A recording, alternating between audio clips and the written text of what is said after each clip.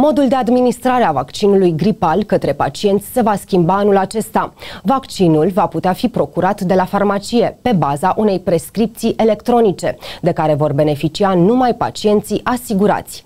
Astfel, Ministerul Sănătății va deconta direct farmaciilor în funcție de prescripțiile prezentate, iar grupele de risc vor avea compensare de 100%.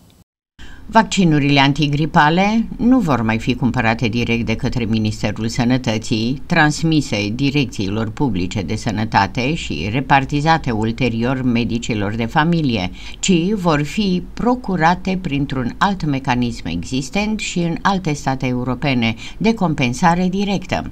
Grupele de risc nu vor plăti nimic pentru vaccin, iar cei cu vârsta între 50 și 65 de ani care nu au boli cronice vor primi o compensare de 50%.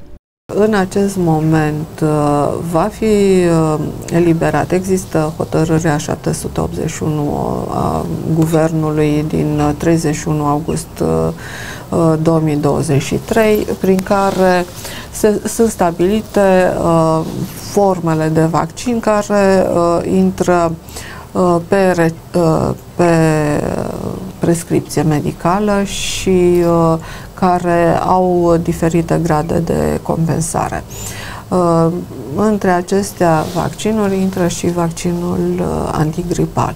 Grupele de risc să aibă compensare 100%, deci uh, gratuitate, iar pentru celelalte persoane care nu intră în grupele de risc, în normele de aplicare a hotărârii vor apărea gradul de compensare. Vaccinarea se va putea realiza și la anumite farmacii sau la medicul de familie, însă trebuie luat în calcul faptul că doza va fi transportată de către pacient doar în anumite condiții.